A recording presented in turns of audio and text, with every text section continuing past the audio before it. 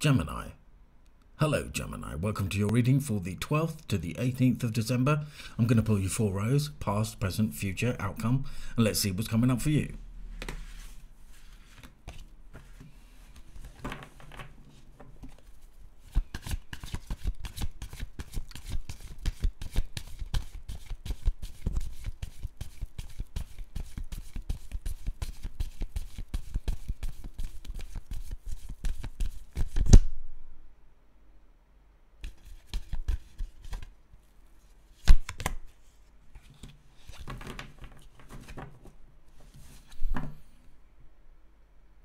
Knight of Swords first. Okay.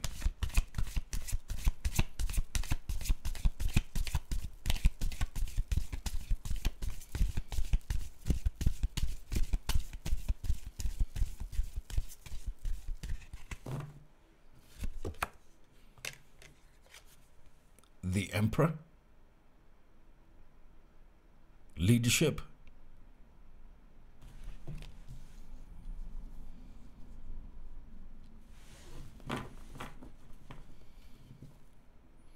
So I'm already getting a message of don't be craving to be at the finish line when it's the journey and the experience which is what to be, is there to be enjoyed. Not always enjoyed because it's not gonna, always going to be enjoyable, but don't crave to be at the end because you will miss out on a lot. And the universe won't allow it and it will just create more suffering. Or just suffering where there hasn't been any.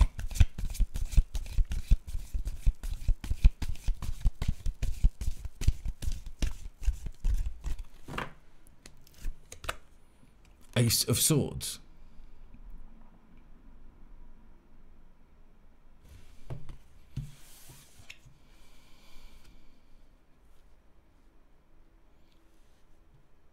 So I do think in the past here there was some mini battle. One, maybe a battle with yourself, um, but just an achievement of some kind. Ten of Cups at the beginning of your current energy row. Brilliant. You're about the third sign to have uh, the Ten of Cups this week in that kind of area, not in that exact place. I think you're the second sign to have it in that exact place. I can't remember. I mean, I've done them.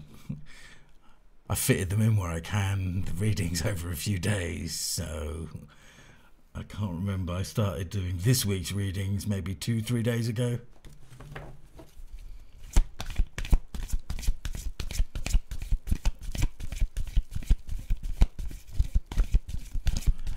But the reason I say that is because I do think that there is an element of happiness showing up in the readings for a collective energy for most people. Okay, now, this is the card that a few weeks ago was showing up all the time the Eight of Swords, self imposed restriction. So, the reason for that, I'm going to say there might be something from the past which is still clinging on. This is in the center of the road that is your current energy. Very interestingly, see, I'm, I'm seeing this past line, even though it is in the past. You have to read intuitively with these things I'm getting that as a future energy. Like that is where you want to get to. You want to get to that uh, leadership, bold, being a boss, being a CEO of some kind of company or whatever resonates with you. You want to get there as quickly as possible.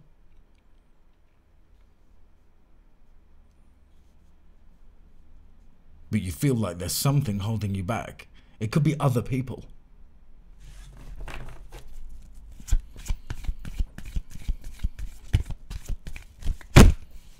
Okay, what was that one? King of Pentacles?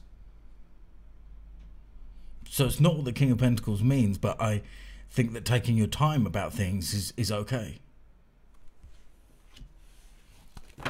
And be bold and be courageous when it comes to where you are investing your time, your money, your resources. So the future row is started off by the Five of Wands, which is the adventure it, it, it represents training. These people are training with wands. They're not trying to kill each other with swords. Wands originally representing the farmers, swords originally representing the army. Cups, priesthood, pentacles, the bankers.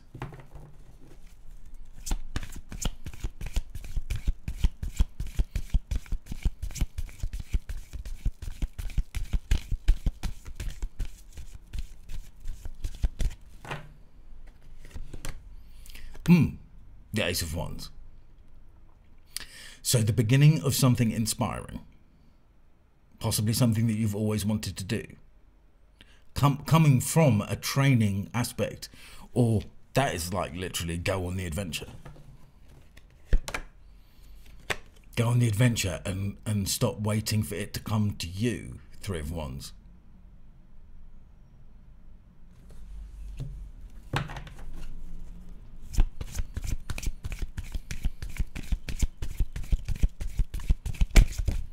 Okay, what's that one? Okay. the Wheel of Fortune. The Wheel of Fortune always turns. So if you've been having bad luck, it's turning in, in the way of good luck. Just an element of caution. If you've been having nothing but good luck, it might mean that it's turning the other way. That is the Wheel of Karma in the middle of the card. So, karma, as in destiny, or karma as in getting what you deserve. Both meanings of karma. The word karma is a fascinating word. It does mean a few things.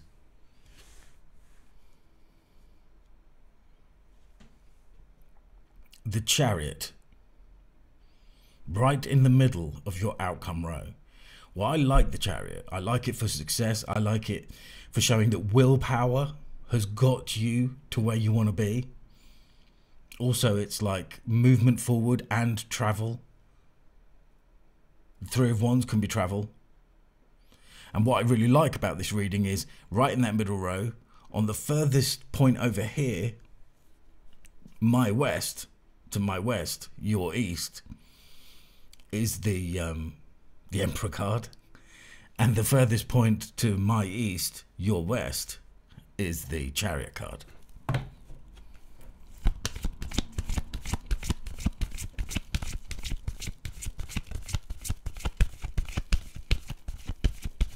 In the north, we have the Ten of Cups and the Wheel of Fortune. In the south, we have the Ace of Wands and the King of Pentacles. Just so those points of the compass don't feel like they have been left out. Final card, without even looking at it. It's the King. Oh, no, it's not in reverse. That's just me being silly. Uh, trying to flick it in my hand like that. the King of Swords. Someone who is a leader intentionally, considering you already have the Emperor in the reading. This is to do with want, wanting to be a boss.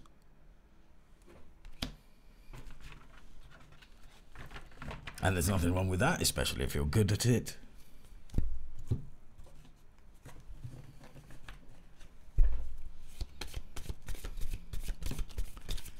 Okay, let's go with the clarification cards. Wow, the last, I think uh, the last reading I just did, Libra, had the Two of Wands clarifying their very first card. So that's interesting. That's interesting.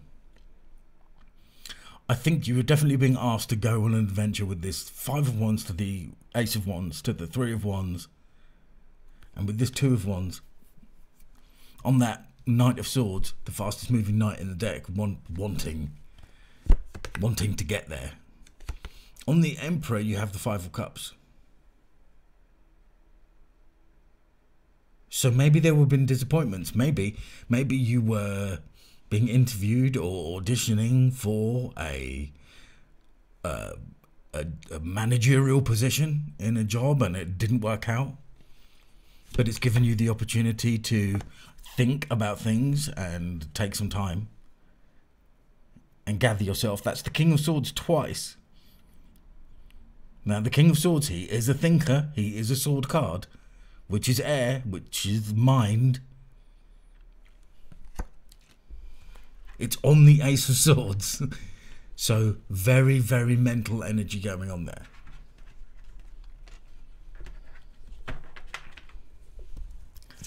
On the Ten of Cups. What have we got? We've got the Queen of Wands. Inspirational energy. The Queen of Wands is a seducer, not necessarily in a negative way, just because she's so attractive and charismatic. Is on the Ten of Cups, which is a kind of love, big time love, maybe marriage energy. Also, doing things the way that you want them to be done.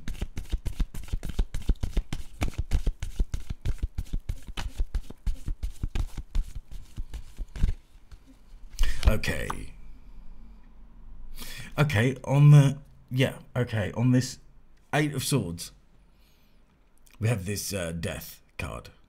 So there is a huge transformation going on here. So you you feel like you're being restricted, but I think you're just going through a transformation and you need to take time. You need to give it time. Six of Wands on the King of Pentacles. So I think there's success when it comes to financial investments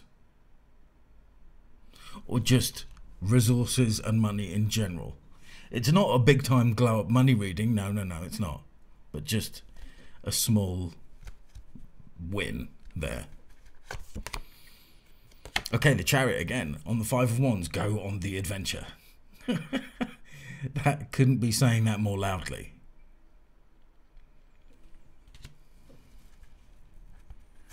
With the Ace of Wands, we have the Page of Cups. So, an element of love coming in there if you go on this adventure, I think. I love that flying pig in the top corner there. Miracles can happen, and pigs might fly. Well, there's a flying pig right there. You have the Emperor again in this reading. It's on the Three of Wands. So I don't think you should be worried about having to be patient for an outcome, especially when it comes to success.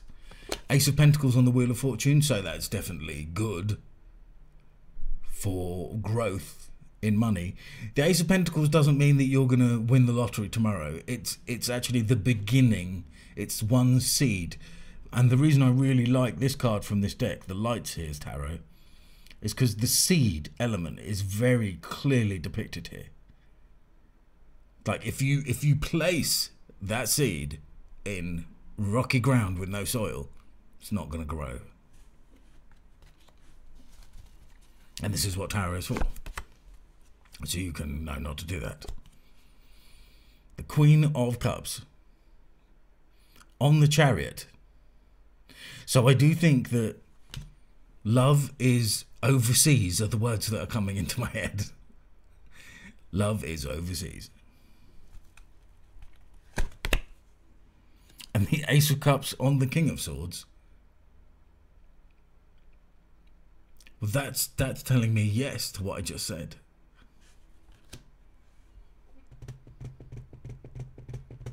Maybe it's someone who has a leadership position that you might be falling in love with.